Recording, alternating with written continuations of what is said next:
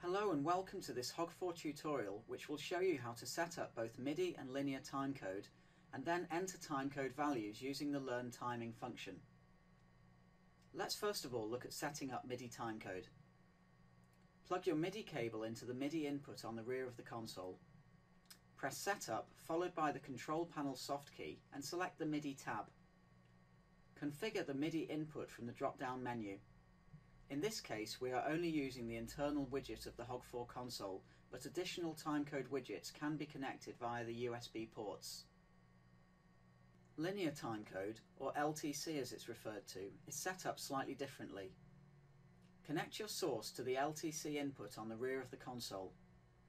To bring LTC directly into the console, the internal DP8000 must be running as LTC input is handled by the DP8000 process. Additionally, up to 8 external LTC widgets can be connected to the console or external DPs by USB.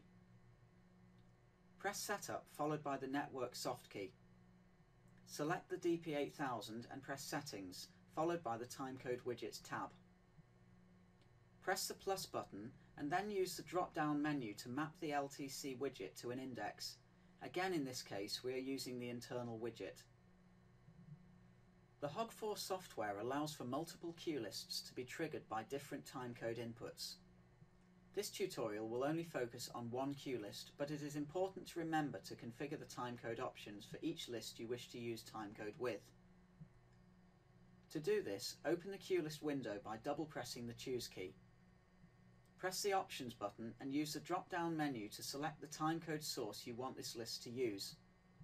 You can either enable timecode here or directly from the cue list window. The trigger forwards only option would prevent the cue list from going backwards if the timecode was skipped to an earlier time. When left deselected, the cue list will follow the incoming timecode whether it skips forwards or backwards. Return to the cue list window and enable timecode using the Enable Timecode button. Press the View Timecode button to display the timecode toolbar. The source of the timecode for this list along with the type and format of the timecode is displayed here. The clock is displayed in the format of hours, minutes, seconds and frames. It is also possible to simulate timecode, which is useful for if your timecode source is temporarily unavailable. When simulate is selected, the incoming timecode is ignored. To start simulating timecode, press the Go button. The jump button allows us to quickly skip the timecode to six predefined values. To set these values, press the timecode symbol on the left of the toolbar to open the options window. In this window you can also select the appropriate format to match your incoming timecode.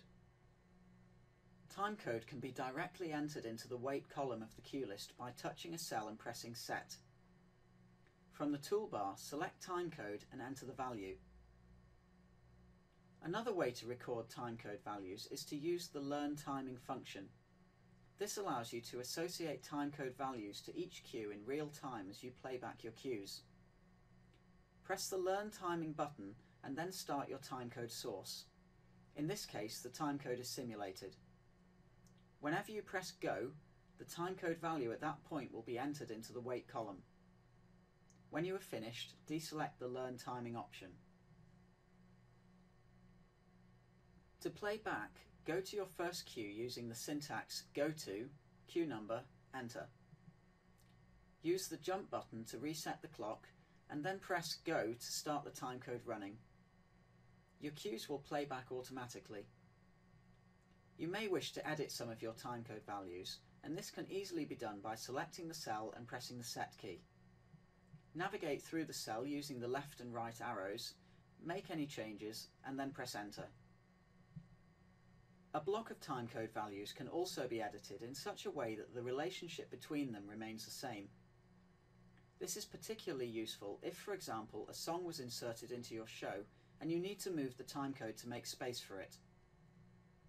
To edit a block, click in the first cell and drag down to the last. Press Set and enter the new value of the first cue, followed by Enter. All subsequent cues that were selected will be edited relative to this. Any entries in the wait column that are not timecode values will be unaffected by this action. It is also worth mentioning that learn timing can be used without timecode being present. Whenever timecode is not running, every time go is pressed, a time value equivalent to the duration between go presses is entered in the wait column. In the next tutorial, we shall look at performing a full system restore of your console. Thank you for watching.